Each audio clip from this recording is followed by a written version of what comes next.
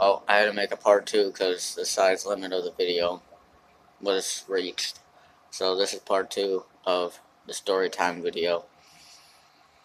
Um, yeah, that was just a bad time in my life. Um,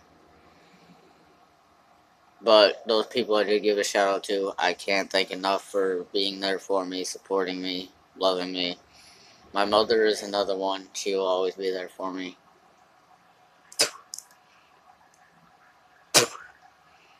Um, that day was also bad because it was actually the first day I've ever seen my stepdad really like shed a tear when he saw me.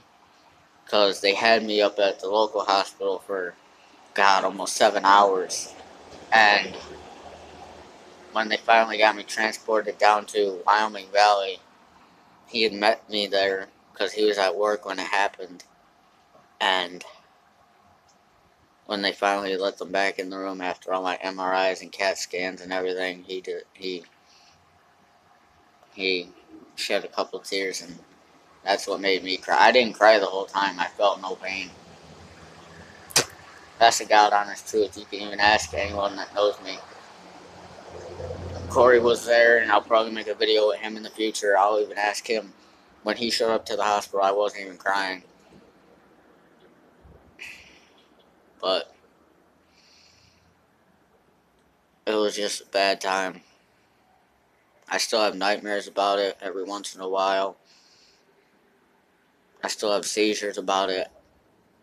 The seizure I had the night before the court, when he actually showed up, my mother said that I was in my room and I somehow called her on my cell phone and said, You gotta hurry up and get down here.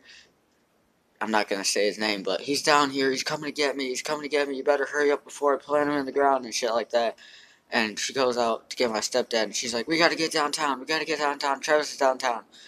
And he goes, "Well, when did he get downtown? He didn't sneak back past me."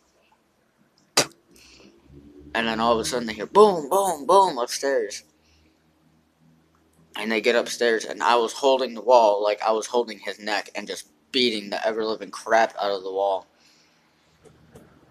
And she put herself in between me and the wall and pushed me off the wall. And for a good two hours, I was just not myself after that. That was probably the worst seizure I've ever had in my life. I was just out of it. I was so weak and lightheaded, dizzy. I was just out of it. I was in I was in another dimension after that. But after that, my epilepsy actually got worse from it.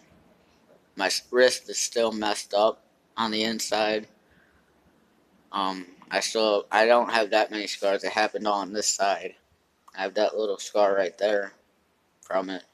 Nothing right here. This is all cut up. My ear was cut up. Somehow my earring got pu pulled through my ear. My brother and one of our old friends went down, went back down after it happened and found my earring laying on the ground. And it just not it was not a good time. I was in double arm casts for six weeks. I ended up going back to school in double arm casts for two weeks, and I got the one off. It was about this time that I went back to school because it was homecoming, and I still went to a school dance with in a pink arm cast. That tells you how devoted I am to going and going to school dances and shit. I was going in a full arm cast just to have fun because I'm a fucking party animal. But again, big shout outs to Corey, Brian from Douchebag Incorporated, and all those other people I mentioned. Um, I can't thank you enough for being here. Um, if you go on my Facebook, my profile picture is a picture of me standing in front of the wall on the one, well, a couple days after the one year anniversary, because I was down at Brian's on the one year anniversary of the wall, and it's just amazing that I actually survived that. It was crazy, but I think this video has gone on long enough. I gotta head back home, upload both part both of these parts, and yeah. I will see you tomorrow in some more cover songs and maybe some more different kind of videos. So until then, like, comment, subscribe, leave some suggestions in the comments, and uh, see y'all later.